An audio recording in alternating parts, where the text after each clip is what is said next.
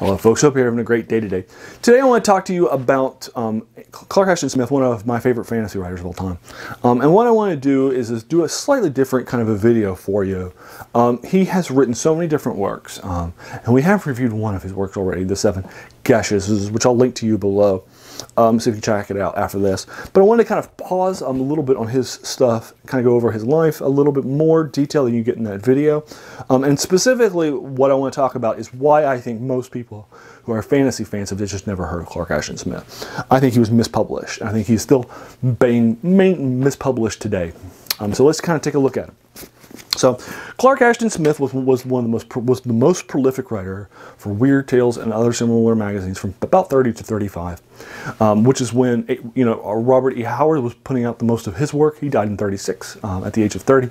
Um, Lovecraft was also putting out a lot of his works too. He died at 37 um, in, in, the, in his early 40s, um, and so both of them all three of these were sort of seen as this triumvirate of these great writers for Weird Tales and other people of the day. And they were all kind of really kind of seen as these, you know, just incredibly well gifted, talented uh, people who had, um, while they were writing, had a number of people that would sort of copy their stuff. You know, for example, you can go out and read stories that were written at the same time as Lovecraft that aren't even in the Cthulhu mythos that are clearly inspired by, uh, you know, for example, the Call of Cthulhu. You can read a short story called The Scourge of Behemoth, um, which was written, um, you know, maybe six months later that reads very much like the Call of Cthulhu, only the military has an answer to it. Uh, so it has a slightly different ending, but it's basically a Call of Cthulhu story. Um, and so you can go out there and read these sort of stories that are out there, um, you know, at the same time. Conan, tons of Conan stuff has got written after Robert E. while Howard was still writing Conan stuff, uh, and so forth. So all these these these people were very influential. Now you've heard of Robert E. Howard probably because you've heard of Conan, you've heard of his other stuff out there he's a great writer. And even though he died at the age of 30 and he didn't write as much as some of the other people did, his stuff was good. It was prolific. It was strong. Um, it definitely resonated with people then and remains to today. And he was also published correctly, which we're going to be talking about a little bit.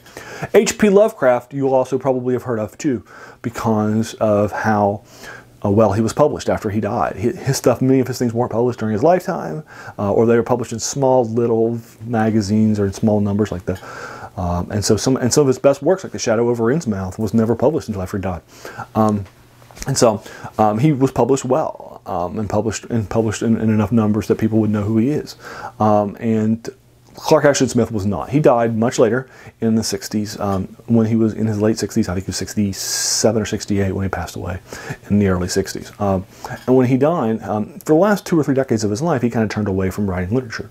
Uh, he was doing a lot more other things with art, like statues, and, and, he was also doing some poetry and stuff. He only wrote for a short period of time, actually, because he didn't start out as a writer.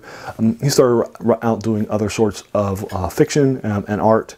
Uh, and it was suggested to him that he start that he moves towards trying to write and sell things, and he does, and he commits to it for about 10 or 15 years. He puts out a lot of stuff during that, but then he kind of moves away from it.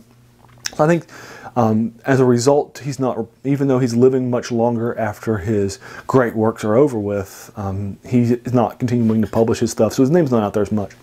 I think that that definitely hurts. Um, also, the copyrights for many of his things are still held, whereas the other folks, you know, for example, Lovecraft stuff's in the public domain, um, and there's some debate as to whether Howard stuff's in the public domain or not. In some places, it's all published on, online, and in some places, his stuff is owned. Um, so there's a current debate in the among folks as to whether or not his works are or not in the public domain, but.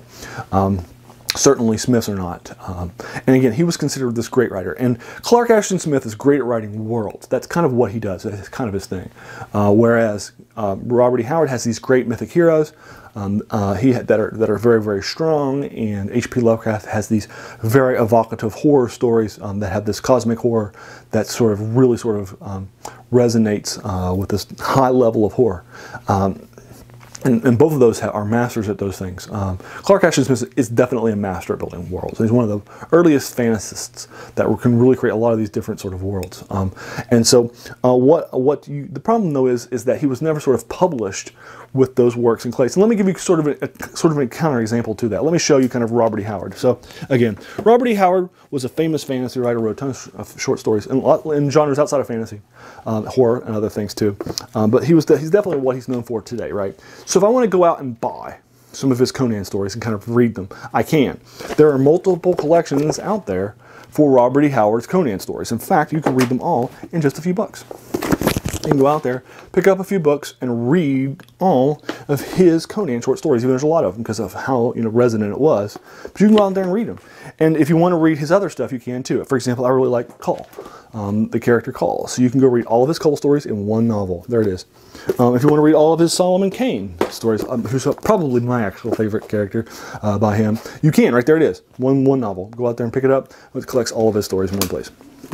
And that's, I think, incredibly important in kind of following somebody today. If I want to go out and follow a writer and check them out and go check out their books, right, and, and check out one of their works, it's going to be a whole lot easier for me to go out there and just pick up all the stuff that's in one world. And he's obviously not the only writer who does that too, right? For example, you could look at somebody like Michael Moorcock, who has written a ton of different things. And so, for example, let's say I want just the Michael Moorcock stuff that's, that features the character Corum. Well, there it is right there.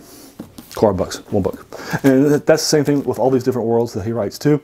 Uh, the Von Bek series, uh, the very, there's only two or three Elric collections because there's not that many Elric books, um, Hawkmoon stuff and so forth. So you can buy these collections that have all that people, all the things in that world or that start feature that character in them.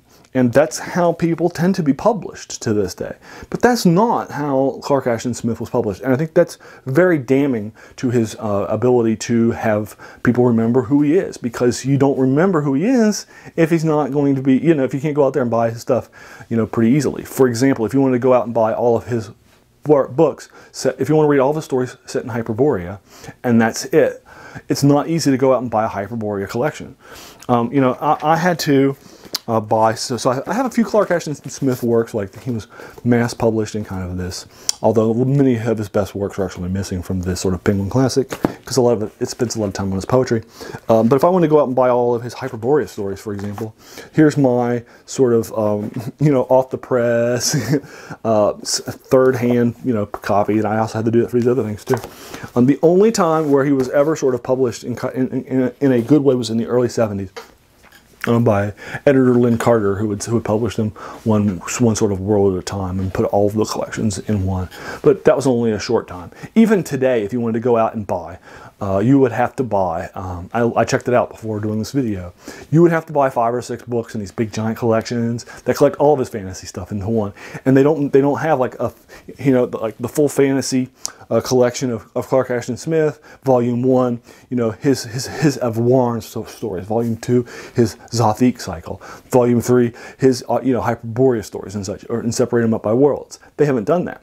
Um, and so as a result, um, you can't go out and buy and check out just one of his books. You have to you have to buy, and and then otherwise they'll have these big giant expensive books that are kind of um, you know kind of. Uh, uh, you know that can cost way too much money uh, for a small level budget um, that are clearly just kind of these, these big charisma kind of projects that aren't kind of designed to really sell to everybody. So I don't think he was ever really published well, and for that reason, I don't think you know who he is because he wasn't published well, right?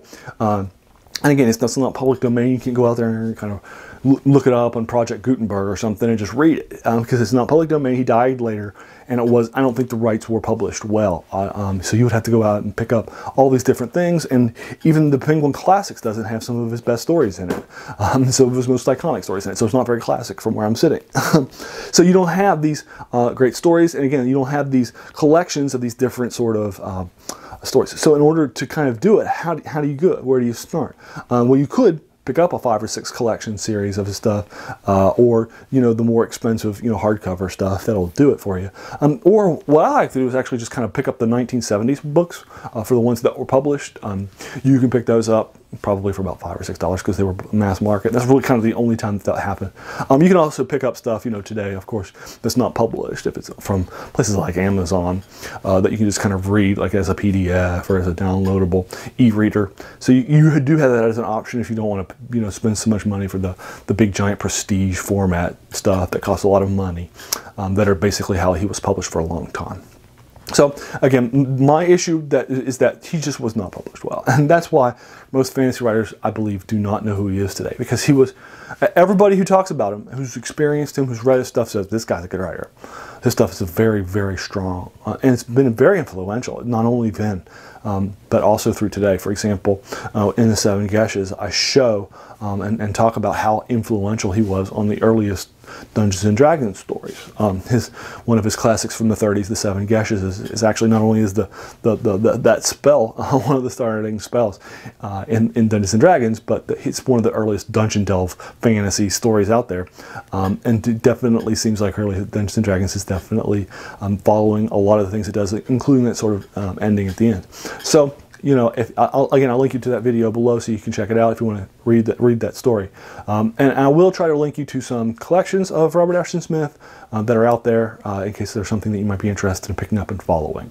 He's a great writer though, but again, I think you've never heard of him. If, if you've never heard of him or you've never had, you know, him kind of in, described with this as this impactful writer, I think it was because of these missed opportunities by the people who publish his works.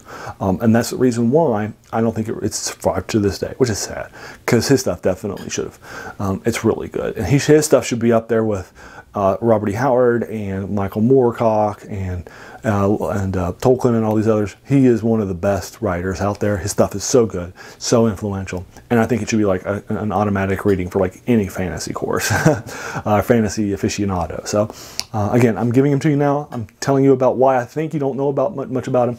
Um, have you read stuff by Clark Ashton Smith? Um, it's the first time you heard about him uh, in this video or in the video that I, that I published a little while ago. Um, that's fine. Check him out. You're going to like him a lot. Um, let me know in the comments below what you think of him. If you think he's overrated, if you think he's overblown. And this is a guy who read a, dictionary from start to finish um, and an encyclopedia multiple times. So he uses a lot of that stuff that he learned. He had this didactic memory. Um, so if you're like, you think he's overblown because he'll use words that you have to always go look up in the dictionary because I don't know what that word means. Um, or just kind of ignore it or, or, hope that you figured it out from context clues. Uh, that's fine. I, I, understand that if you think that. uh, but if but if you uh, if you've I'd love to talk to you about more. What are your favorite stories by him? Um, what do you think of his writing style? It's very unique. Uh, do you think it? Do you think it's as good as my own? Um, do you think it was mispublished too? Um, and so forth. So I'd be happy to, to engage with you on this topic one way or the other in the comments below. If you like this video, please feel free to hit the subscribe button. This is actually the third video I've recorded in the last hour. Um, that's how much I love this channel and the various videos that we're doing. So there's going to be lots more stuff to follow. Reviews, uh, as well as analyses and stuff like this where I kind of give you the context of a writer. Um, so again, thank you. If you've watched all this video, thank you so much for taking some time out of your day to invest in my video. I really do appreciate it. You all have a great day.